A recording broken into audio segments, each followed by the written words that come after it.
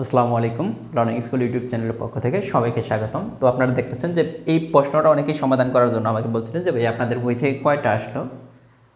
তো দেখেন, এখানে পিএইচসি জুনিয়র ইনস্ট্রাক্টর পরীক্ষা হইতেছে আঠারো তারিখে মানে গতকালকে যে পরীক্ষাটা হয়েছিল। আমরা বলি যে, আমাদের বইটা পড়লে আপনি যে কোনো চাকরির পরীক্ষা, যে কয়টা ম্যাথ আসবে, আপনি সবই পারবেন। কেন পারবেন? আমি তার একটা এক্সাম্পল দিই, এটা পিএইচসি পরীক্ষা। কারণ প্রাইমারির জন্য আপনার পিএইচসির সকল প্রশ্ন করতে হবে। গতকালকে পরীক্ষার প্রশ্নটা অনেকে জানতে চেয়েছেন যে এখানে কয়েকটা ম্যাথ কমন আসছে। এখানে আমি আপনাদেরকে পেজ নম্বর সহ উল্লেখ করে দিছি। যদি একটু দেখেন যে এই যে একটি কলম পঁচিশ পার্সেন্ট ক্ষয়তে বিক্রি করা হলো, বিক্রয় মূল্য পঁয়তাল্লিশ টাকা বেশি হলে পাঁচ পার্সেন্ট লাভ হতো। কলমটির ক্রয় মূল্য কত? এটা যদি একটু দেখেন, আমাদের এই বইয়ের মধ্যে কলমের জায়গায় ছিল বই। এইখানে ছিল দশ পার্সেন্ট আর বাকি সব সেম এই যে জব ম্যাথ বইয়ের চুরানব্বই নং পেজের সাতান্ন নং অঙ্কের অনুশীলনী চার নম্বরটা যদি দেখেন, এই অঙ্কটা হুবহু পেয়ে যাবেন। জাস্ট বইয়ের জায়গায় কলম ছিল। এতকে শতকরায় প্রকাশ করলে এটা হুবু ছিল, এটা হুবু আসছিল। দেখেন, কেন আমি বলি যে পিএইচসির প্রশ্ন প্রাইমারিতে আসে, প্রাইমারি প্রশ্ন পিএইচসিতে আসে। আমরা পড়তে হবে পিএইচসির প্রশ্নটা পড়তে হবে। এটা দেখেন, প্রাইমারিতে আসছে কিন্তু এই প্রশ্নটা, এটা কিন্তু পিএইচসিতেও চলে আসছে।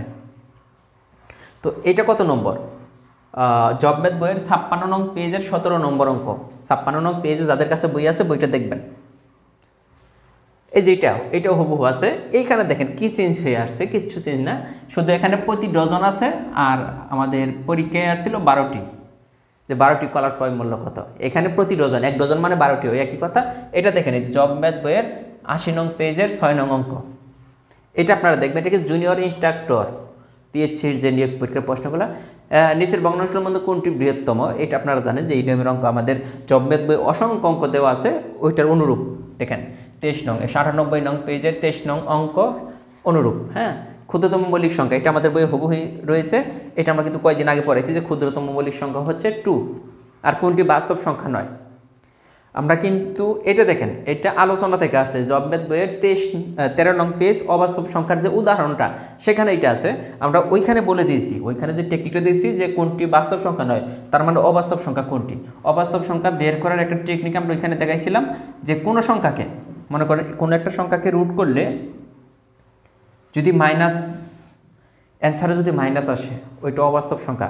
কোনো একটা সংখ্যাকে রুট না সরি বর্গমূল স্কোয়ার করলে যদি মাইনাস থেকে যায়, তাহলে ওইটা হবে অবাস্তব সংখ্যা। এখানে আছে রুট ওভার মাইনাস থ্রি এটাকে আমরা কি? বর্গ করে বা স্কোয়ার করে দেখব। বর্গ করে দেখব যে এটার মধ্যে মাইনাস আসে কিনা। ই করার পরে দেখলাম মাইনাস আসলো। তার মানে এটা বাস্তব সংখ্যা নয়।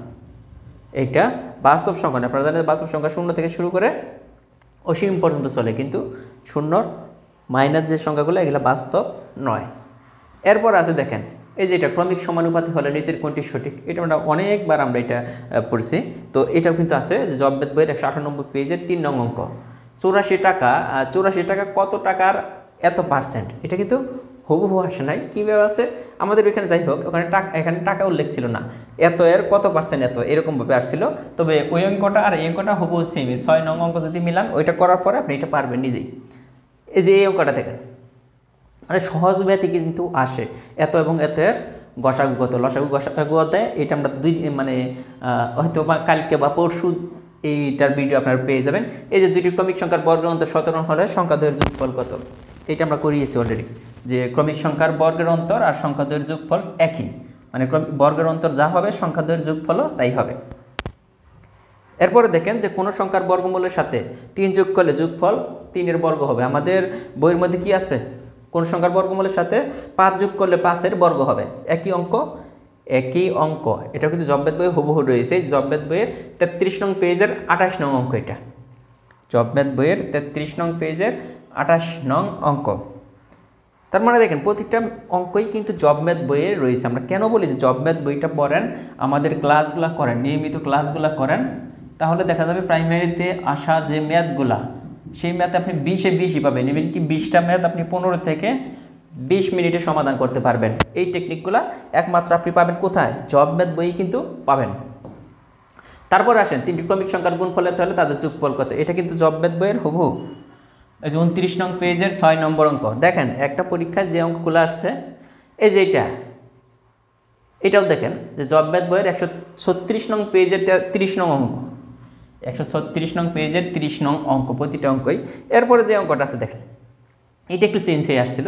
কীরকম চেঞ্জ? এই অঙ্কটাই আসছে হু হু চেঞ্জটা ছিল এইটুকু, যে x plus one by x সমান এখানে যে ফোর আছে, এরা ফোর না দিয়ে দিয়ে দিছে এটা। কারণ আমরা জানি যে এটা যদি লসাগু করি কত আসছে দেখেন x square plus one equal four এরপরের লাইন কত আসবে? যে এক্স স্কোয়ার এদিকে এটা গুণ করলি মাইনাস ফোর এক্স আর প্লাস ওয়ান সমান জিরো দেখেন, এইটা এর আগের এটা যে জব্বেদ বই দুশো ছাপ্পান্ন চৌষট্টি নং, এর আগে তেষট্টি নং অঙ্কে এই সংখ্যাগুলো মিললাই কিন্তু এই নিয়মের অঙ্ক করা ছিল। আর এটা দেখেন তারপরে লাইন যেটা কিন্তু হবু এটাই ছিল। তার মানে ওইখান থেকে আপনারা দুই লাইন করে এটা মানিয়ে নিতে হবে। তারপরে আপনার এটা খুব দ্রুত। অথবা এখান থেকেও কিন্তু আমরা খুব দ্রুতই করতে পারব এটা ঠিক আছে? এরপরে আসেন আমরা যদি করি যে তারপরে, এই যে এত দ্বারাটির প্রথম দশটি পদের যোগফল কত? ছয়, বারো, আঠারো, এটা কিন্তু সমান্তর হ্যাঁ সমান্তর দ্বারা, সমান্তর দ্বারার যোগফল নির্ণয়ের যে সূত্রটা, ওইখানে আমাদের কয়েকটা অঙ্ক আছে। তার মধ্যে এইটা হচ্ছে নয় নম্বর অঙ্ক, তিনশো তিন নং পেজের। এরপর আসেন এই যে সমান্তর দ্বারার পদ সংখ্যা নির্ণয়। এই যে এত দ্বারাটির পদ সংখ্যা কত? এর ষোলোতম নিবন্ধন আসছে। আবার পিএইচসিতে আমি কিন্তু বলছি যে আপনার নিবন্ধনের প্রশ্ন পড়তে হবে প্রাইমারির জন্য। এরপরে যদি এইটা হয়, এই যে এইটা, এটা কিন্তু থ্রি বাই ফোর ছিল, এই যে এক্স বাই ওয়াই সমান থ্রি বাই ফোর ছিল আমাদের বইয়ে, কিন্তু আসছে এটা চেঞ্জ হয়ে দুই বাই তিন। জাস্ট এই যে অনুসরণে একের মতো দেখেন। এখানে কিন্তু প্রত্যেকটা কিন্তু পেজ নম্বর উল্লেখ করে দেওয়া আছে। এই যে এটা, এই নিয়মের দুই তিনটা অঙ্ক আছে আমাদের বইয়ের মধ্যে। একই নিয়মের দুই থেকে তিনটা অঙ্ক আছে বইয়ের মধ্যে, কিন্তু একটি চেঞ্জ হয়ে আসছে। একই বিষয়, এই যে এইটাও কিন্তু বইয়ের মধ্যে, দেখেন ওইখানে কিন্তু রয়েছে। এই যে এটা তো হুবহু।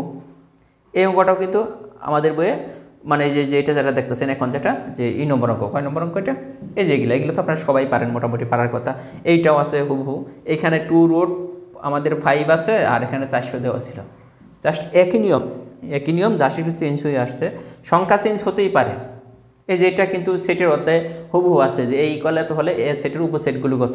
কোনো সেটের উপাদান সংখ্যা যত থাকবে, তিন আছে, তাহলে এই যে আমাদের সূত্র হইতেছে টুর পর এন উপাদান সংখ্যা যত থাকবে তার উপসেটের সংখ্যা এই যে তিন। এখানে জাস্ট এনের মান বসাই দিলে আট। এরকম আর কি। যে কোনো অঙ্ক। এরপর আছে দেখেন যে একটা আয়তকার দৈর্ঘ্যের বিস্তারিত ক্ষেত্রফল এত হলে পরিসীমা কত? এটা চারশো এক নং পেজে চৌষট্টি নং। আবারও বলছি যে সংখ্যা কিন্তু চেঞ্জ হইতে পারে। দশের জায়গায় বিশ, বিশের জায়গায় তিরিশ। এটা না দিলে যদি অঙ্ক যদি না পারেন, তাহলে কিন্তু খুব সমস্যা। পরীক্ষার হলে হালকা একটু একটু চেঞ্জ হবেই।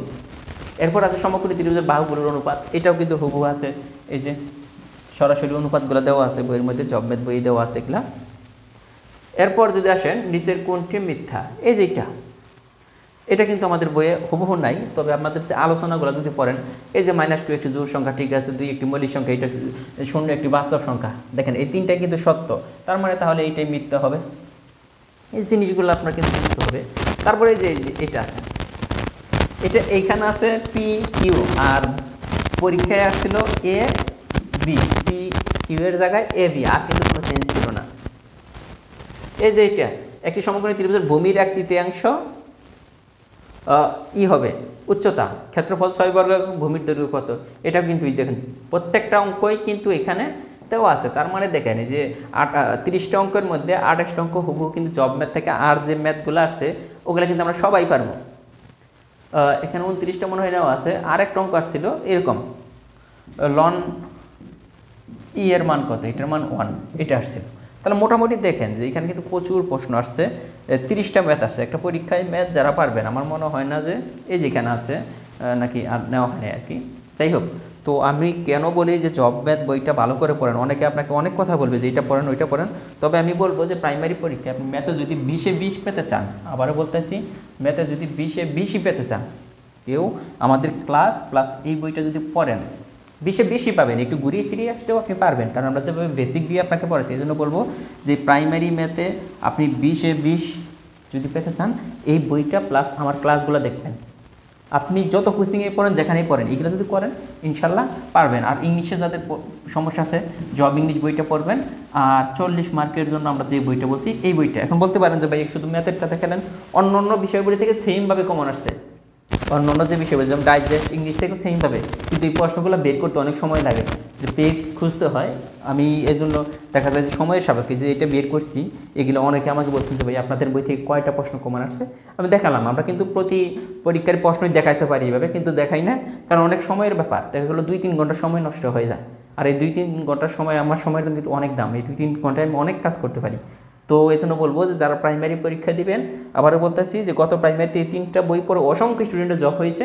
এইবারে যারা সর্বোচ্চ কমন পেতে চান, তাদেরকে বলব বই তিনটা হাতে নিয়ে দেখবেন। আপনি যে কোনো বই কিনেন, সমস্যা নাই। বই কেনার পূর্বে এই বই তিনটা হাতে নিয়ে দেখবেন, তাহলে বুঝবেন যে এই বইগুলো কি আর অন্য অন্য প্রাইমারি গাইডে কী আছে। তো ধন্যবাদ সবাইকে। ভালো থাকবেন। আল্লাহ হাফেজ।